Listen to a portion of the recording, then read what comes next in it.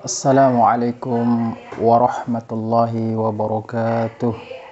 Bismillah alhamdulillah Asyadu an la ilaha illallah wahdahu la syarikalah أشهد أن سيدنا ونبينا ومولانا محمد عبده ورسوله اللهم صل وسلم وبارك على سيدنا محمد المصطفى وعلى آله وأصحابه ومن تبع سنته وجمعته من يومنا هذا إلى يوم النهضة والدين أما بعد سبحانك لا علم لنا إلا ما علمتنا إنك أنت العليم الحكيم la ilma lana illa ma 'allamtana innaka antal alimul hakim ولا حول ولا قوة إلا بالله العلي العظيم رب اشرح لي صدري ويسر لي أمري واحلل عقدة من لساني يفقهوا قولي Alhamdulillah pemirsa netizen TV di mana saja berada kita bersyukur kepada Allah Subhanahu wa taala atas segala limpah nikmat karunia-Nya kepada kita sampai dengan saat ini alhamdulillah baik itu karunia kesehatan, kekuatan, karunia Islam dan iman sehingga kembali kita dipertemukan pada malam ini untuk melanjutkan kajian kita.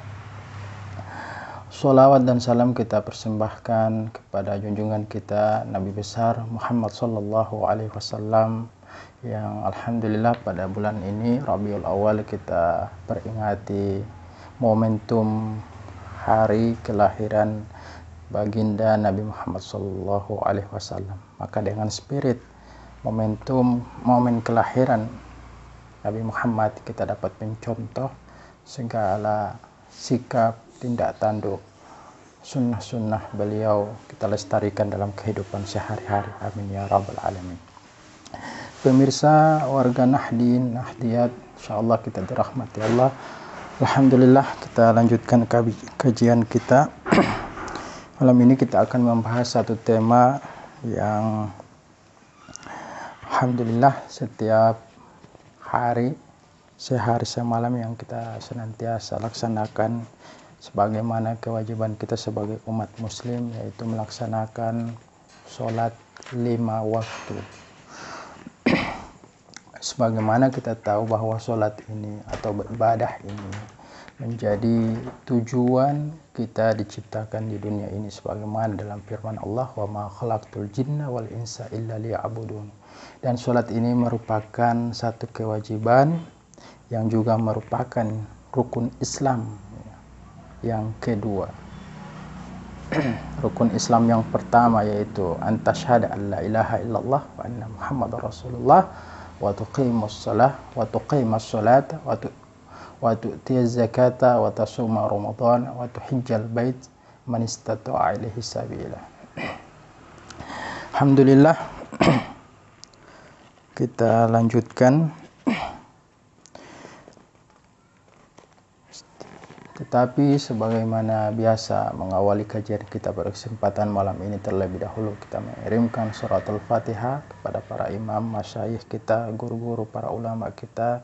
Insya Allah kajian kita pada kesempatan malam ini mendapatkan ridho dan keberkahan dari Allah Subhanahu wa taala. Wa ala hadhihi niyya wa likulli niyatin salihah wa ila hadratin nabi Mustafa sallallahu alaihi wasallam. Al-Fatihah. أعوذ بالله الرجيم. بسم الله الرحمن الرحيم. الحمد لله رب العالمين. الرحمن الرحيم. مالك يوم الدين. إياك نعبد وإياك نستعين. اهدنا الصراط المستقيم صراط الذين أنعمت عليهم غير المغضوب عليهم ولا الضالين. ثم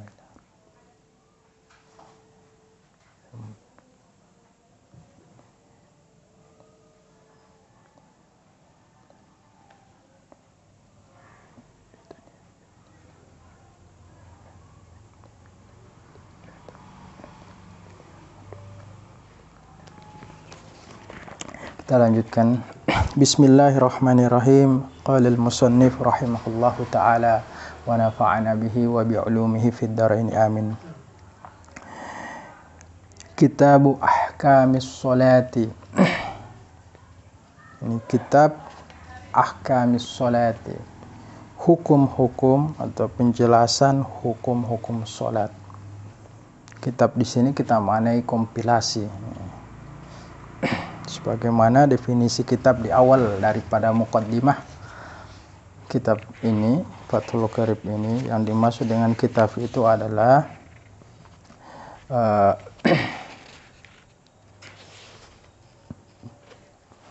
yang dimaksud dengan kitab itu adalah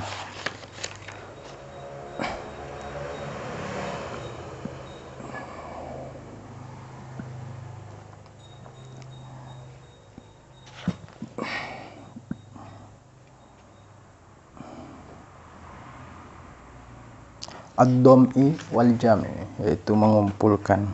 Artinya di dalam satu kitab itu ada kumpulan beberapa pasal tentang penjelasan daripada hukum-hukum. Ad-dom'i wal jam'i itu mengumpulkan. Bismillahirrahmanirrahim. Kitab Ahkamit Toharoti Kitab ataupun kumpulan penjelasan hukum-hukum sholat wahia lugotan. Sedangkan wahia lugotan sholat itu secara etimologi atau bahasa ad-du'a'u adalah doa. Kenapa disebut dengan doa? Karena di seluruh rangkaian sholat itu semuanya mengandung doa. Dari pertama kita niat sampai dengan kita salam semua itu mengandung atau meliputi akan doa. Wa syara'an kama qala ar-rafi'i aqwalun wa af'alun muftatahatun bit takbiri muhtatamatun bit taslimi bi syara'ita mahsusatin. Sedangkan secara syara terminologi syar'i sebagaimana yang diungkapkan oleh Imam Ar-Rafi'i Salat itu adalah akwalun, ucapan-ucapan, wa af'alun dan perbuatan-perbuatan muftatahatun bit takbiri yang dibuka atau diawali dengan takbir muhtatamatun bitaslimi dan dikunci atau diakhiri dengan salam bisyara itu maksusatin dengan syarat-syarat yang dikhususkan atau yang ditentukan. Jadi itu solat adalah ucapan karena kita uh, ketika menunaikan ibadah solat itu pertama kita takbir Nah, di dalam rangkaian sholat juga itu kita mengucapkan uh, doa-doa uh, dan juga ada gerakan-gerakan ada perbuatan-perbuatan. Yang kesemua rangkaian itu harus dibuka. Bukannya dengan apa ketika kita memandangkan takbir takbiratul ihram Allahu Akbar. Kemudian diakhiri dikunci dengan uh, melafazkan salam assalamualaikum. Itu sekurang-kurangnya dan sempurnanya. Assalamualaikum warahmatullahi wabarakatuh dengan syarat-syarat yang telah dikhususkan. Nah ini yang dimaksud dengan ta'rif atau definisi. Definisi itu dia harus mengandung dua unsur. Yang pertama itu jami yaitu mengumpulkan hal-hal yang akan dijelaskan kemudian mani. Mani itu dia membatasi hal-hal yang dijelaskan agar supaya tidak melebar. Itu yang dimaksud dengan definisi. Itu ta'arif jadi sholat itu secara bahasa eh, sekedar doa saja ya. Karena di dalam rangkaian sholat itu terdapat doa-doa. Kemudian secara istilah sebagaimana yang diungkapkan oleh Imam Rafi adalah ucapan-ucapan dan perbuatan-perbuatan yang diawali dengan takbiratul ihram kemudian diakhiri dengan salam dengan syarat-syarat yang ditentukan. As-salatul mafrudatu wa fi ba'din nusakhi as-salawatul mafrudatu dan salat-salat dan salat wajib wa fi ba'din nusakhi dan pada sebagian salinan naskah daripada kitab ini itu as-salawatul mafrudatu itu dengan menggunakan ibarat jamak as-solawatul mafrudatu khamsun ada lima. Di sholat-sholat yang dipardukan atau sholat wajib itu ada lima. Kita tahu dalam sejarah itu pertama kali diwajibkan sholat itu ada 50 waktu. Setelah Rasulullah uh, ketemu ataupun ketemu dengan uh, hadirat Allah Subhanahu wa taala lalu bertemu dengan malaikat. Uh, Nabi Musa Nabi Musa protes ya. Kalau bisa diskon sampai didiskon oleh Allah menjadi lima waktu dan ternyata lima waktu ini ya terasa juga sangat sangat uh, berat kecuali bagi yang khusyuk Jadi sholat yang diwajibkan itu ada lima. Yajibu kullun minha bi awalil wakti wujuban muwassa'an. Yang wajib setiap tiap dari lima waktu sholat itu di, uh, dilaksanakan ketiknya masuknya awal waktu. Ya, ketika masuknya awal waktu. Jadi ketika belum masuk waktu sholat, maka kita belum wajib melaksanakan sholat. Ya. Wujuban muassa'an dengan kewajiban yang diperluas. Maksudnya kewajiban yang diperluas itu tidak harus segera. Bisa kita tunda ya.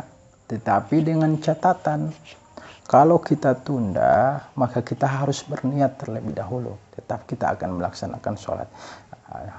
Alasannya juga mesti yang alasan yang urgen, misalnya seorang dokter, ya, misalnya dia sedang melakukan operasi. Yang ketika operasi itu kalau dia tunda, khawatir akan tidak akan menyelamatkan seorang pasien, misalnya. itu yang dimaksud dengan wujuban muassaan. Dan di dalam wujuban muassaan ini ada dua konsekuensi ya. Yang pertama karena dia wujuban muassaan itu kita bisa melaksanakan, kita bisa memilih melaksanakannya ketika masuk awal waktunya dan itu yang paling afdol ya. Karena sholat di awal waktu itu adalah uh, keriduan Allah dan di pertengahan waktu itu adalah rahmat, di akhir waktu adalah ampunan Allah. Dan konsekuensi yang kedua, kalau kita misalnya menunda-nunda, ya, tetapi ketika kita menunda, kita harus pasang niat terlebih dahulu. Kita akan melaksanakan sholat. Supaya apa? Misalnya kita ada pekerjaan yang menurut kita tidak bisa kita tinggalkan. Ya, sementara waktu sholat sudah masuk. Misalnya sholat zuhur sudah masuk waktu sholat. Dan pekerjaan ini harus kita laksanakan juga. Ya. Dan ketika kita tidak berniat untuk melaksanakan sholat zuhur itu misalnya kita sampai jam 2 menjelang habis waktu zuhur. Tahu-tahu oleh Allah kita dipanggil. Nyawa kita dicabut roh kita dicabut. Maka konsekuensinya kita akan berdosa. Karena apa? Karena kita tidak berniat terlebih dahulu. Berbeda ketika ya, kita berniat terlebih dahulu. Kita berniat pasang niat dalam hati untuk melaksanakan sholat. Cuma memang ada pekerjaan yang memang kita tidak bisa tinggalkan dengan segera. Itu konsekuensi daripada kewajiban yang diperluas.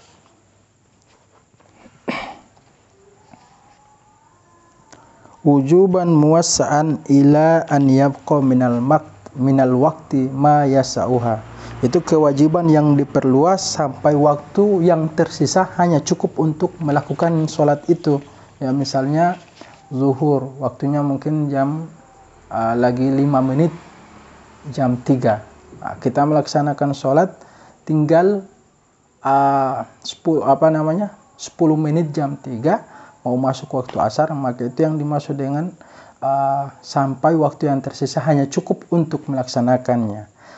Fayadiku hinaidin maka ketika di keadaan di waktu seperti itu sudah sempitlah waktunya.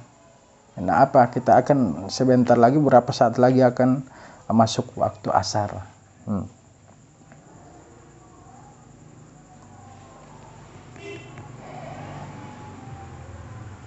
al-zuhru ay solatuhu pertama akan dijelaskan ini sholat zuhur ay solatuhum Qala An-Nawawi sumiyat bidzalika li'annaha dhahiratun wasatan nahari. Imam Nawawi berkata dinamai solat itu dengan solat zuhur karena sesungguhnya solat itu dia nampak jelas pada tengah hari. Solat zuhur kan dilaksanakan pada waktu tengah hari.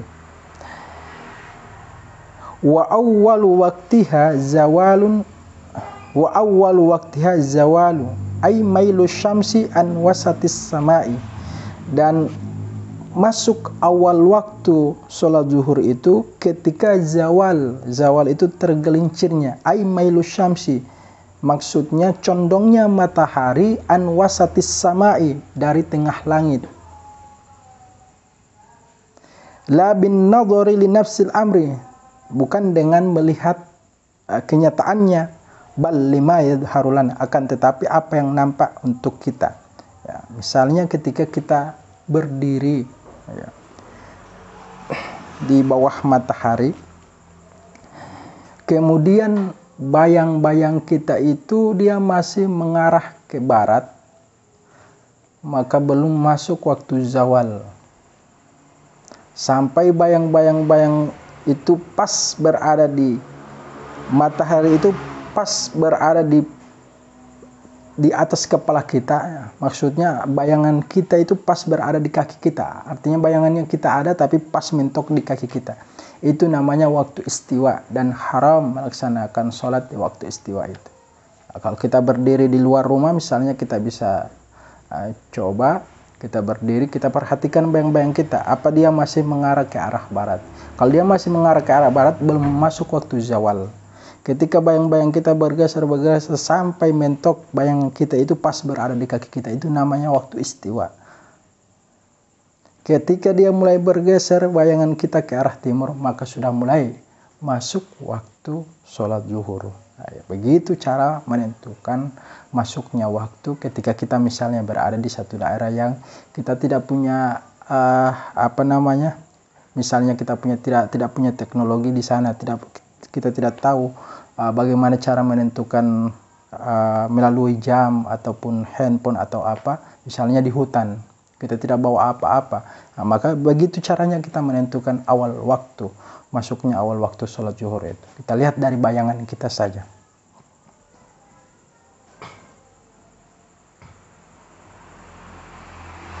Wa yu'rafu dhalikal mailu bitahawulid dilli bitahawulid dilli ila jihatil masyriqi dan akan dapat diketahui condongnya matahari itu dengan bergesernya bayang-bayang ke arah timur itu ba'da tanahi qasrihi alladhi huwa ghayatu irtifa'i syamsi. Setelah berakhir batasan yang dia itu adalah puncak tertinggi matahari ya. Setelah tadi matahari ketika berada pas di tengah-tengah maka itulah adalah uh, posisi puncak tertinggi matahari. Kemudian dia mulai bergeser ke arah barat maka sudah masuk. Apa yang bergeser itu? Bayangan. Itu sudah masuk waktu zuhur. Dan kita harus yakin itu ya bahwa sudah masuk waktunya. Tidak bisa kita tidak yakin bahwa waktu belum masuk. Wa akhiruhu ay waktu zuhri idza sara zillu kulli syai'in mitlahu. Dan akhir waktu sholat zuhur itu ketika bayangan itu soro jadi menjadi kulli syai'in dari setiap-tiap mitlahu setiap benda itu sama dengannya. Artinya akhir pelaksanaan waktu akhir waktu sholat zuhur itu ketika ukuran bayangan itu sudah sama dengan ukuran bendanya. Itu akhir waktu daripada sholat zuhur. Misalnya kita berdiri kemudian ukuran bayangan kita ini sama dengan ukuran badan kita. Maka sudah sudah mulai habis waktu untuk sholat zuhur. Ai maksudnya gaira zawal setelah uh, bayang-bayang uh, itu uh, bergeser. Wal jillu lugatan dan jil itu bayangan itu secara bahasa as-satru. Adalah satar apa itu satar? Penutup. Takulu engkau berkata ana fi dhilli fulanin. Aku dalam tutupan atau lindungan si fulan. Ai? Satrihi. Maksudnya dalam lindungannya walaisa dhillu adama syamsi. Dan bukanlah bayangan itu karena tidak adanya matahari ya. Justru ada matahari kita punya bayangan. Walaisa dhillu adama syamsi. Kama qad yutawahamu. Bukanlah bayangan itu karena tidak ada matahari. Sebagaimana yang sering disalahpahami ya. Artinya ada orang yang mengatakan bahkan banyak mengatakan jil itu karena ada bayangan itu karena tidak ada matahari. Padahal itu salah. bal huwa amrun wujudiyun bahkan jil atau bayangan itu adalah perkara yang wujud yang nyata yang ada yakhluquhullahu ta'ala li badani wa ghairihi yang Allah menciptakan bayangan itu untuk apa? Li naf'il badani untuk kemanfaatan badan wa ghairihi dan selainnya. Artinya ketika ada bayangan berarti ada matahari. Ketika ada matahari kita bisa menyerap uh, vitamin dari matahari itu. Jadi sholat zuhur itu awal masuk waktunya itu ketika telah tergelincir matahari ke arah timur. Hmm, bisa kita identifikasi daripada bayangan kita. Ketika dia sudah mengarah bergeser ke arah timur maka sudah mulai masuk waktunya. Dan ketika bayangan kita itu sudah sama dengan ukuran badan atau bendanya maka sudah mulai habis waktu untuk sholat zuhur. Wal asru Selanjutnya asar ay salatuha yaitu salat asar. Wa summiyat bidzalika limu'al soratiha waqtal gurubi.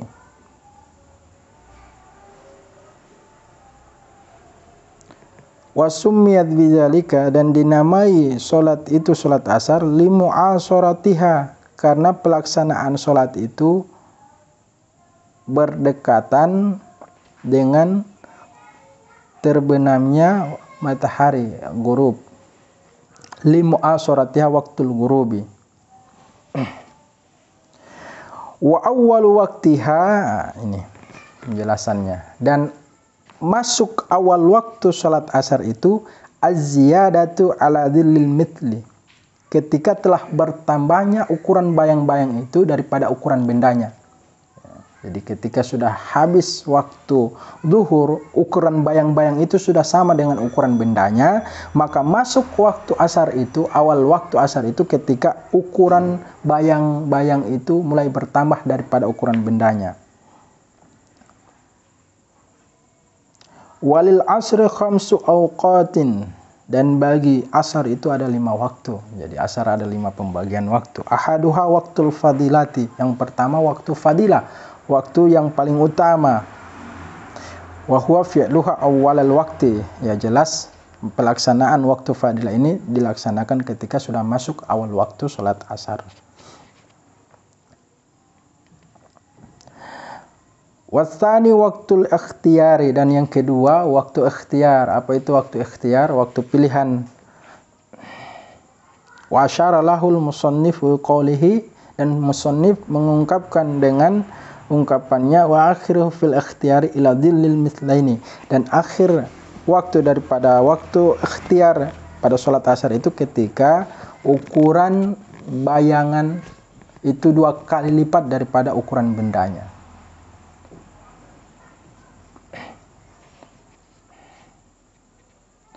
Wasalisu waktu jawaz dan yang ketiga waktu jawaz. Insya Allah kita akan lanjutkan pada pertemuan selanjutnya masih dengan pembahasan uh, sholat asar dan waktu-waktunya yang ada lima tadi. Insya Allah apa yang sedikit ini bermanfaat untuk kita semua, terutama uh, para pemirsa yang berada di rumah. Insya Allah. شكرا ودمتم في الخير والنجاة والبركة. والله الموافق إلى أقوام الطريق. والسلام عليكم ورحمة الله وبركاته.